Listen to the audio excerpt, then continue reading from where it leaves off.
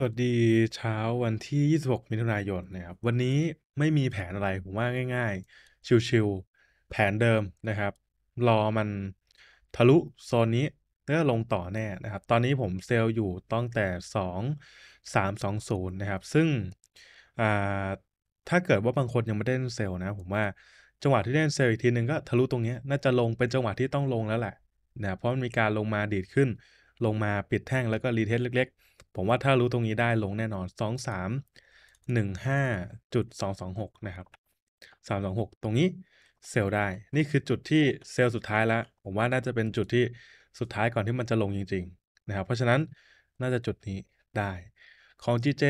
แผนเดิมเหมือนเดิมนะครับ ผมยังเข้า buy อยู่ไม่มีอะไรเนาะ ถ้าเกิดเข้า buy เพิ่มก็เข้า buy ข้างบนตรงนี้ตั้ง buy stop ไว้ได้นะครับ